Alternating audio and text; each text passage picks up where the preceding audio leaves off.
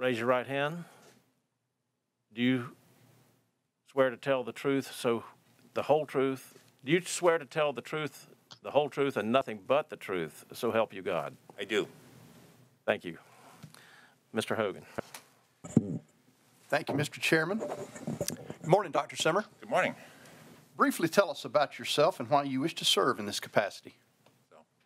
Well, first, let me say thank you to all of you for being here this morning, either online or in person. It's an honor, and, a, and I feel very humbled to be here in front of you today to uh, discuss uh, DHEC and, and, my potential qualifications as the, to be the director of DHEC.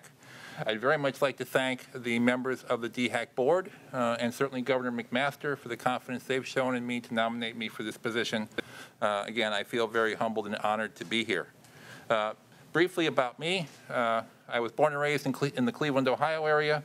Went to uh, medical school in St. Louis on a Navy scholarship. Uh, I owed the Navy four years in return for that.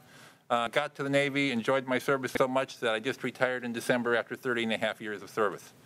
Uh, in the Navy, uh, I had the opportunity to serve in a number of roles. I was trained as a psychiatrist and still do see some patients as a, as a psychiatrist.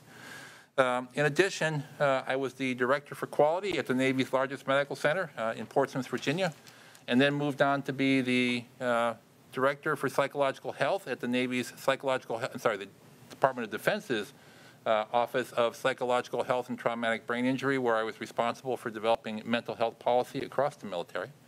From there, I was the executive officer at Naval Hospital Beaufort in South Carolina, right down the road.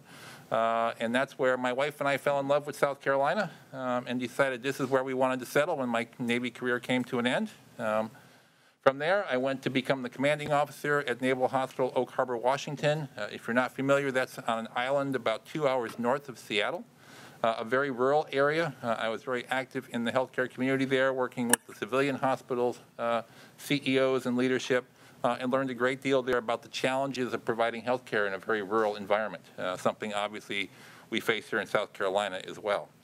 Um, from there, I spent my last six years in the Navy as the Deputy Director and Chief Medical Officer of the TRICARE Health Plan. That's the uh, military civilian insurance benefit for the roughly 10 million active duty members, their families, and retirees and their families. Uh, and we provide care when a military treatment facility cannot. Uh, in that role, I was very involved in public health efforts. I was responsible for determining what the be covered benefits should be, what was effective, um, and how we should get the best access to care for our 10 million people that relied on us worldwide. Um, over the past year in particular, I've been very involved in the military's response to the COVID uh, crisis, both in terms of improving access, working in into increase access to telehealth, uh, and making that more available to our beneficiaries so they didn't have to go out to get care whenever possible, uh, and also ensuring that we had great access to both some of the emerging treatments for COVID, like the monoclonal antibodies you may have read about, and also not long before I left, focusing very much on, on the vaccine distribution and making sure that our military beneficiaries had access to vaccines, uh, you know, in, in the appropriate sequencing. Um, I was also very involved with developing the next set of TRICARE contracts, uh, which will cover basically the military health benefit and shape the benefit for the next eight to 10 years.